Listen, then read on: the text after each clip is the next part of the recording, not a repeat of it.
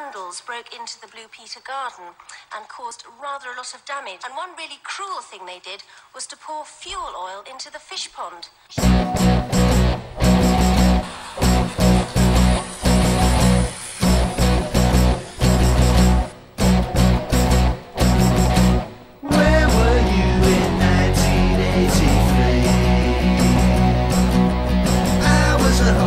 watching